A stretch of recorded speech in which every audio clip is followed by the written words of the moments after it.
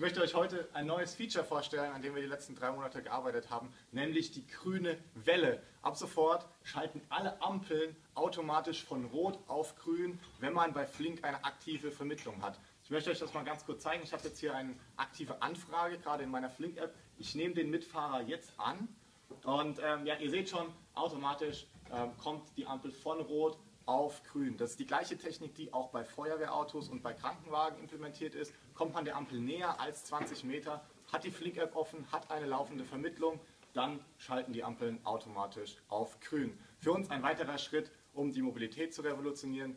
Probiert es aus, ladet euch die App runter, vermittelt euch und ähm, ja, wir wünschen euch alle Zeit gute Fahrt und vor allen Dingen auch freie Fahrt.